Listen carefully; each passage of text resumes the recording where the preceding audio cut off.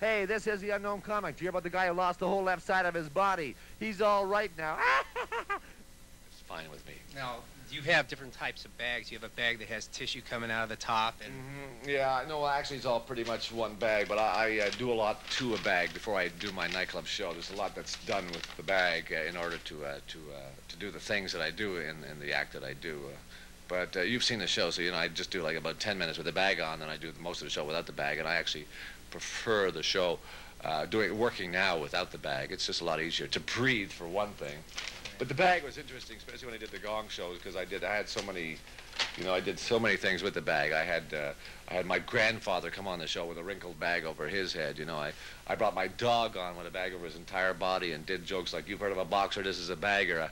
I, I was going to name him Chooser, but baggers can't be choosers. You know, and I brought my cat uh, on, put him in the bag, and let the cat out of the bag. And I had a lady one time rush up and saying that I was the father of her child, and I said, "You can't prove that." And she had it like a baby with a bag over its head. You know.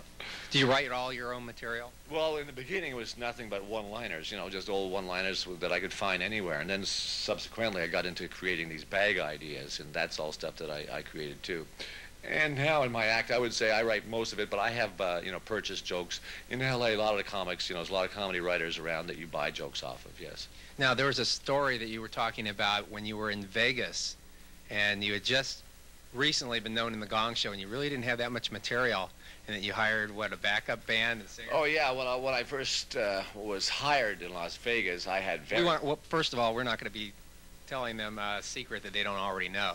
What? The people that hired you in Vegas. No, no, no, no. It's no big deal. No, uh, actually, uh, they hired me because they saw me on Carson. I did a, you know, a couple of Carson shows back then as a unknown comic, and so the Sahara Hotel people at the time asked me if I wanted to do, a, you know, a show at their their lounge, you know, and they offered me very good money, but I had no real act at the time. I had maybe about 12, 15 minutes of material that I could, you know, do at one time. So what I did is I, I hired a couple of girls, put bags over their heads, called them the Baguettes, and did a whole dance number. Then I had a band called the Brown Baggers.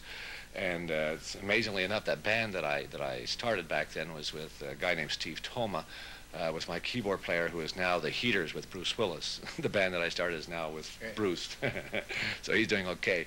Uh, and uh, so anyway, that band, the Brown Baggers, and the girls, the Baguettes, is, was a show that I put together, and I used all kinds of bag things. Like I had my grandfather on with uh, uh, in the show, and and the whole show was it was. Uh, related to the bag at that time, but unfortunately the money I was getting paid, I was spending more than I was getting paid, so it was actually costing me to put on my shows in Las Vegas in those days.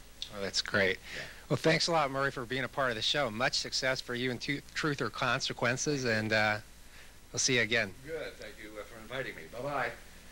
Stay tuned for more right after this.